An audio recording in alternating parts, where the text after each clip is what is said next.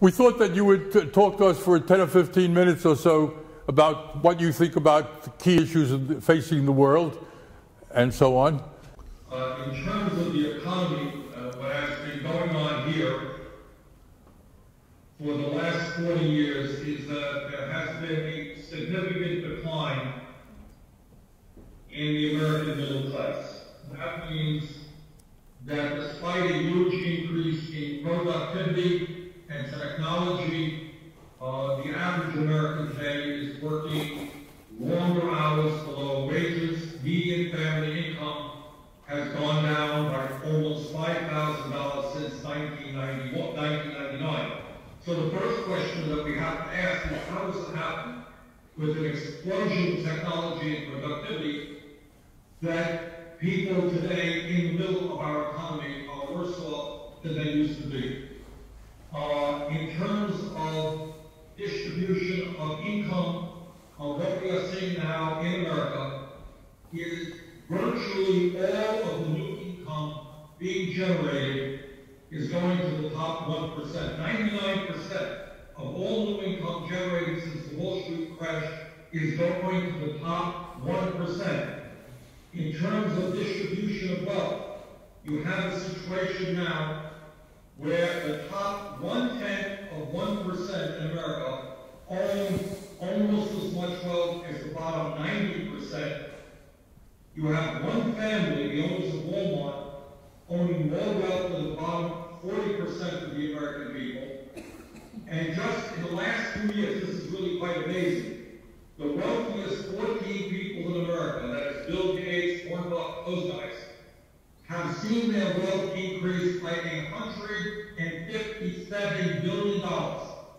Increase in wealth in the last two years, which is more wealth than the bottom 42% of the American people.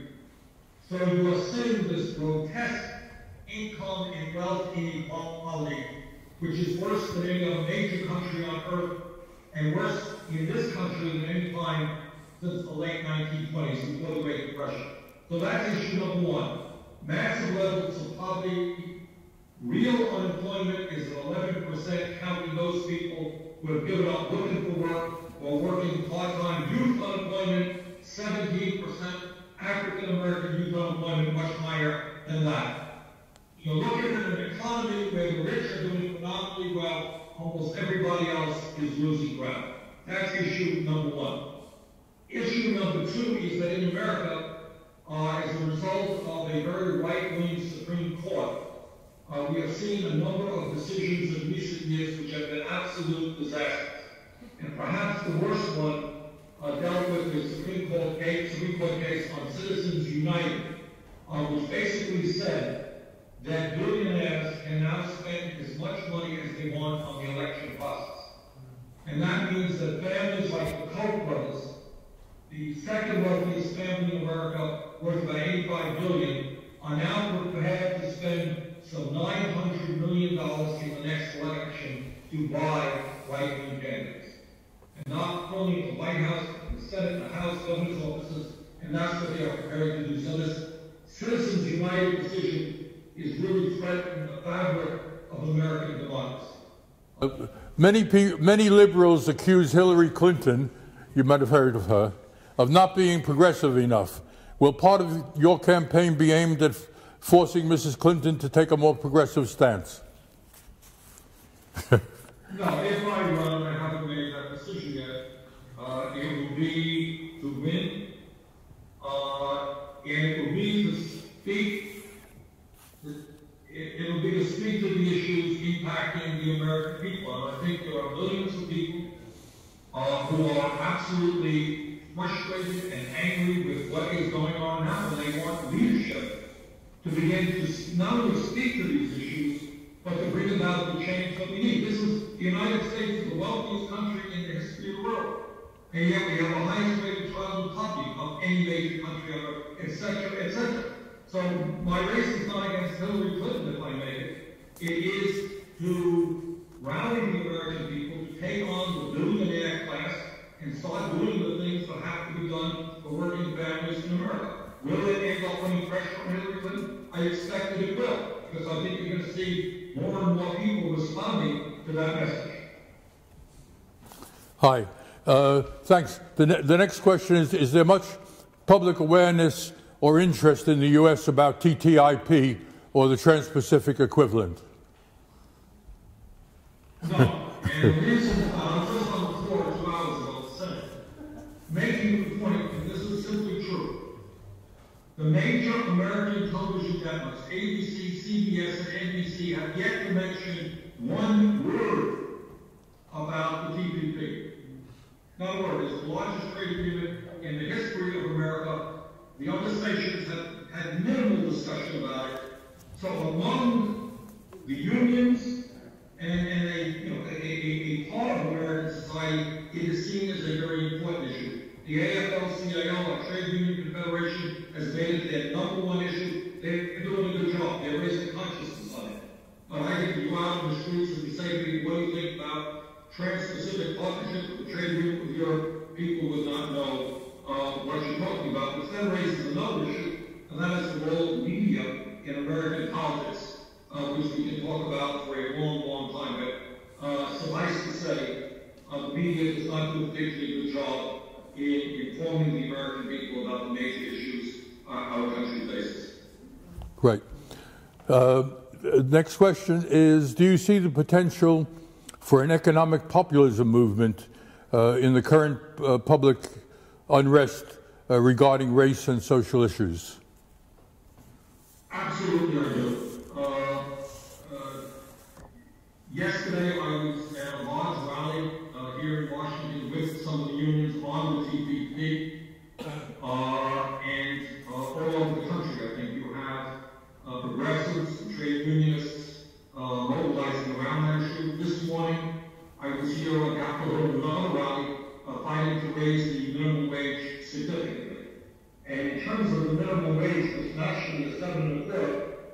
we have seen in the last couple of years very strong grassroots efforts on the part of low-wage workers, people working at McDonald's and Burger King, who are organizing, showing a lot of courage, going out on the and we're seeing some success. State after state is voting to raise the minimum wage. Climate change has a rally a number of months ago in New York City, 400,000 people out, including a lot of young people. So to answer to the question, yes, I think at the grassroots level, uh, we're beginning to see um, some strong uh, efforts in terms of raising wages in this country, in terms of dealing with climate change, and I think given the incredible disparity in wealth and income, you are seeing people beginning to move. Thanks for that. Um, this is probably from a younger person.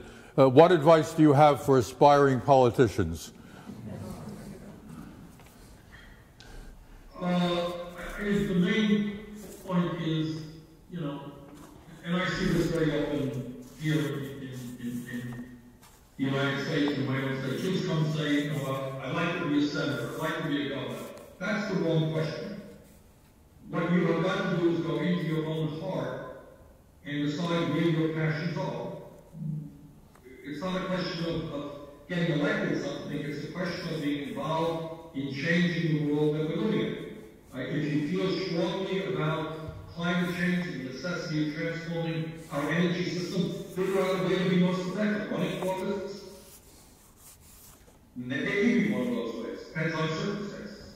Uh, if you feel strongly that the working class in America and around the world is being, you know, beaten up unmercifully, figure out a way that you can work with working class people to bring about change.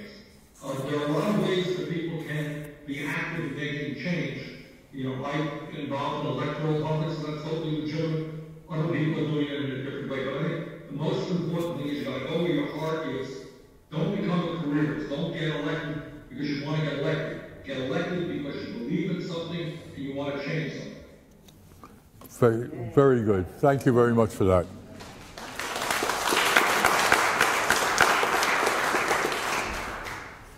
This is more, more specific. Uh, do you have any ideas how to in, uh, combat increasing assaults on abortion rights in the United States? We're facing uh, a very serious issue here in a number of states. Let me say a word about this because this speaks uh, to the heart of American politics. Uh,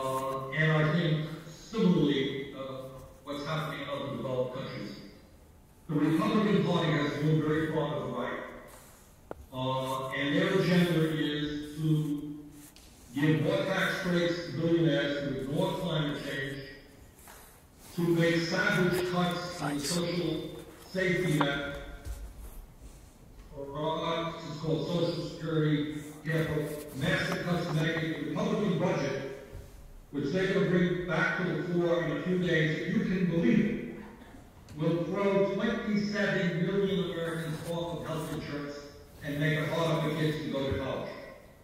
I say that because when people look at what the Republicans stand for, they get no support at all. 90% of the people say, why are you giving tax breaks to billionaires and cutting programs that working families need? So what they do, and that's been their strategy for many years, is change the discussion. So then the discussion, and this is certainly true in Europe, is on immigration. Uh, we hate the people coming into this country, uh, and we've got to focus on uh, uh, illegal immigration. Uh, we hate gays, and we got to do everything we can to stop gay marriage. Uh, and, and um, you know, there's racism subtly and not subtly involved in a number of issues, and then we have the abortion. So what they are doing, give you an example, the state of Kansas, uh, which is maybe in some ways the most right wing, what they are doing now is while they are vigorously anti-abortion every day, they pass another piece of legislation making it harder for a woman to get an abortion. At the same exact time, they are cutting programs for the poor. They are telling low-income people in Kansas, you cannot go to the movies. You can't go to a swimming pool if you are receiving uh, government help. So what this is, is a strategy to have the middle class get like deflected away from the economic issues into abortion, into gay marriage, into guns, into immigration. And our political strategy is exactly the opposite. Is to say, okay, maybe you'll have a disagreement on abortion. But let's stand together on economic issues. Let's raise the minimum wage to a living wage. Let's create the millions of jobs we desperately need. Let's save the planet from what climate change brings us. Let's work together to create a nation in which our middle class is expanding, not contracting. And, but the Republicans have been very, very smart. Uh, you know, so obviously what we're doing is working with the women's organizations uh, to fight back, but also politically trying to bring people together around the economic message. Great. Thank you very much. Um, I've got a question here that says, uh, despite your identification as a socialist, you've had a long and successful political career in Vermont. Is that because Vermont is special, or is it you that's special? well, I mean, to be honest, I, I love my state. My state is special in many respects, but I don't think it's, it's. Uh, I think that once you get beyond the label and you look at what your politician says and does, that is really what's important. I was mayor of the city of Burlington, which is the largest city in the state of Vermont for eight years. Well, I helped lead the transformation of that city. We did a lot of things that improve lives for working families in my city. And that's why I won working class awards two to one, running against Democrats and Republicans. So I think people are less concerned about labels than they are about what you actually do. I'm very proud that despite the fact that I have been consistently anti-war, in last year I received uh, awards, the highest awards, from the two largest veterans organizations in the United States, the American Legion and the VFW, because they stood with veterans. You can vote against the war, but you don't punish the people who fight in those wars, who came back in many ways wounded in body and spirit. So I think if people see what you are doing, the fights that you are waging, the powerful forces that you are taking on, labels don't matter all that much. Last point I would make, a couple of summers ago, uh, we invited to Vermont and I had town meetings with the ambassador from Denmark. Uh, many Americans have no idea what goes on around the rest of the world. Most Americans don't know, for example, that we are the only major country that doesn't guarantee health care for all people. I am more than aware of the big fights you're having over the uh, healthcare system, uh, the NHS in, in, the UK.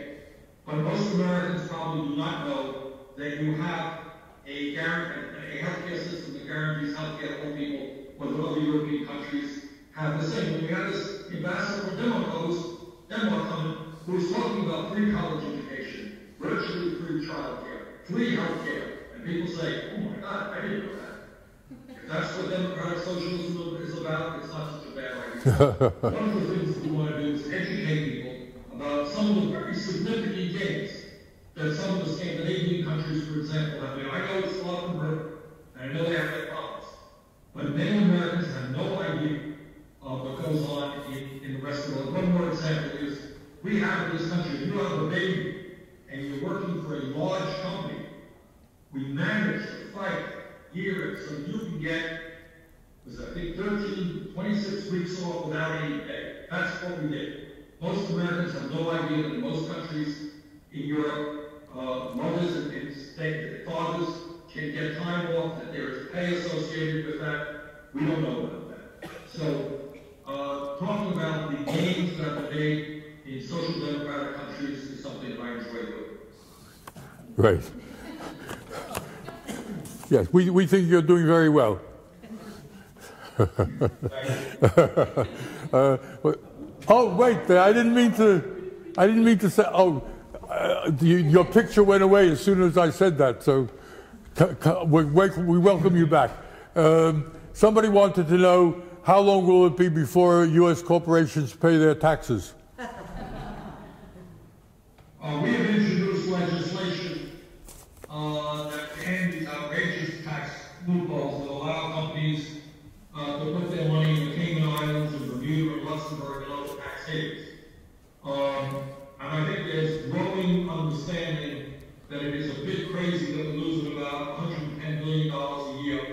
uh, for corporations who in some cases are paying nothing in federal taxes. So this is a huge issue. Needless to say, uh, my Republican colleagues and some Democrats are interested in protecting those tax loopholes, uh, but some of us are fighting hard to change them.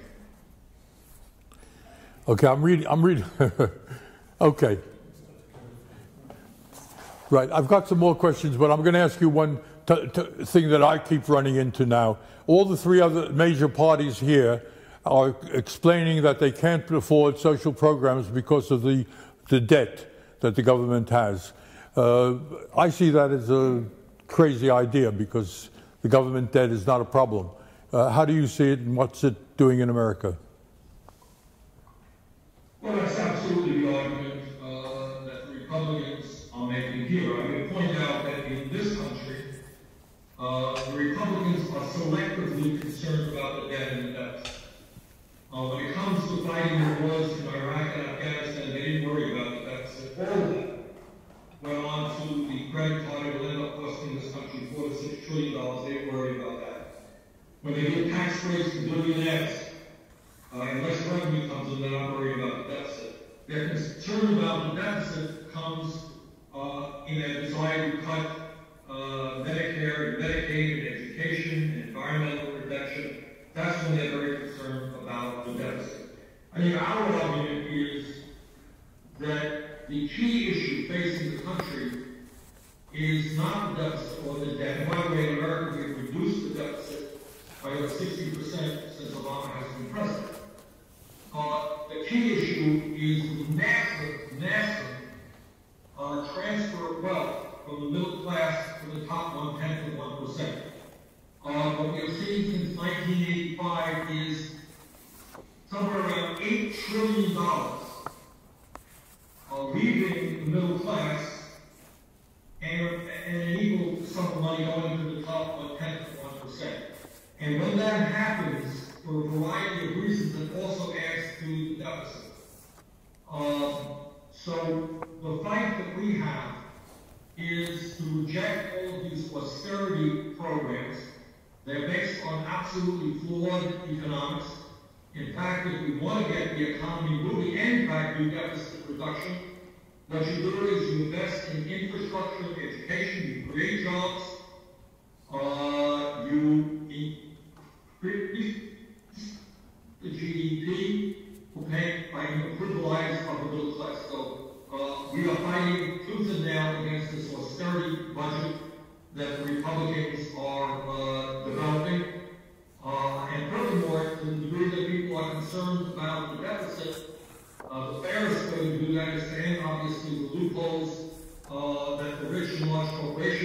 enjoy, so we get them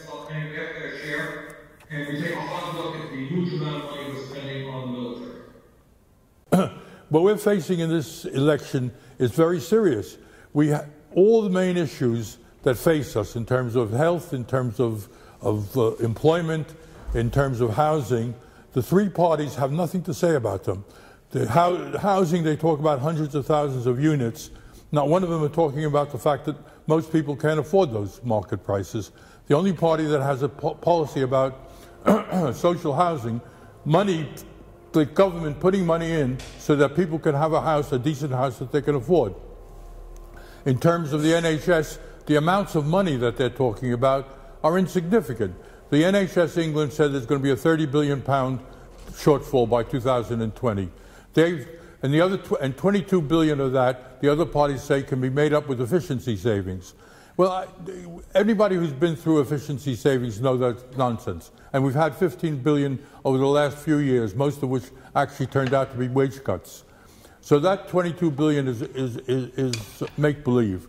So they're putting, putting up, the Labour Party is offering 2.5 billion, the Liberals 8 billion, and, and I think the Tories are 1 billion or something.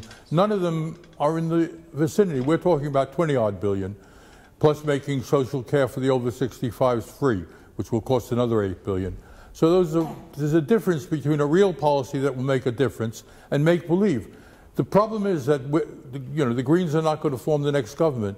We will be back here next year talking about the collapse of the health service and people suffering. We will be talking about the fact that there's still no housing. We'll be talking about the fact that still people are not earning enough to live on.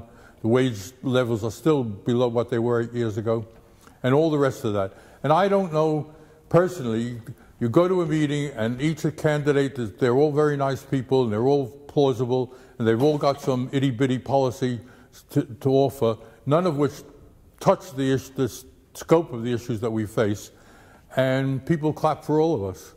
And I, I don't know what that means, but it's, it's worrying. But I hope that people here know that we're in for a long haul. This election will solve nothing. It's because it's you know, nobody, none of the people intend to solve anything. They, they, they're playing around and they want, you know, they want to get back in the cause.